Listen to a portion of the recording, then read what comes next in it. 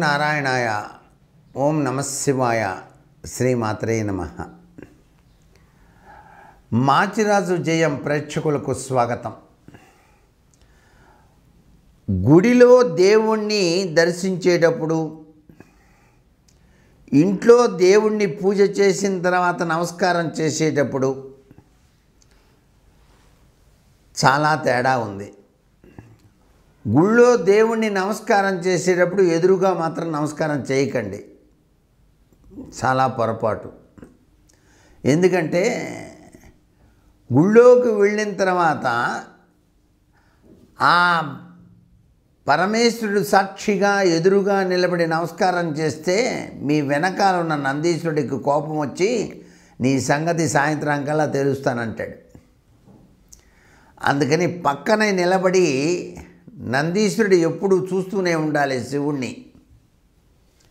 ఆయనకు అడ్డుపడకూడదు మనం. అందుకని పక్క నుండి నమస్కారం చేయాలి. హరహర మహాదేవ శంభో శంకర స్వామి అనుగ్రహించు.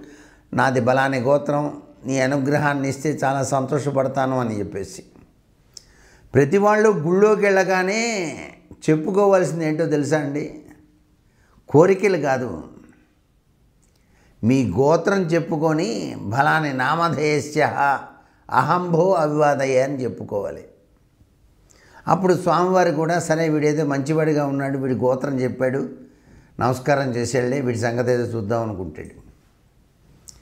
వెళ్ళగానే కోరికల లిస్ట్ పెట్టి స్వామి నిన్ననే నేను వాడికి అంత ఇచ్చాను ఇంత ఇచ్చాను రాక ఇబ్బంది పెడుతున్నాడు వాడు వెళ్తే కనపడ్డు ఏం చేయాలో అర్థం కావట్లేదు నాకు అసలు బతకాలని లేదు అది ఇది అని చెప్పుకుంటే ఎట్లా?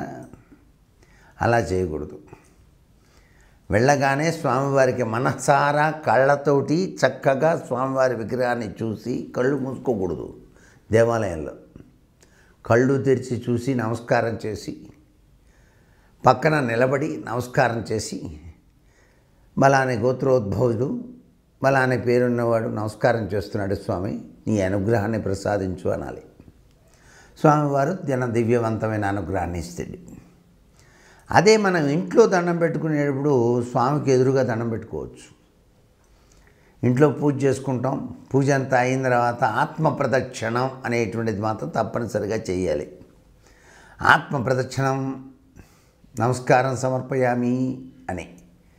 అంటే ఎంత తప్పు చేసినా క్షమించు తెలుసు తెలియకు మంత్రాలు ఏమైనా తప్పు చేస్తే క్షమించవలసింది స్వామి అంటూ నమస్కారం చేసుకుంటాం. ఇలా నిత్య జీవితంలో మన్ని చక్కటి మార్గదర్శక సూత్ర ప్రాతిపదికతో దైవత్వ లక్షణాలతో కలిపి నడిపేటువంటి విధి విధానం మన భారతీయ సంస్కృతి సంప్రదాయంలో దాగి ఉంది.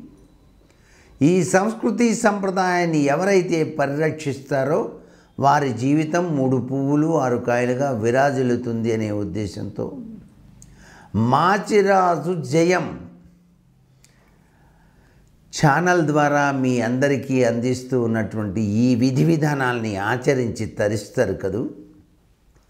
సర్వే జనా సుఖినో భవంతు.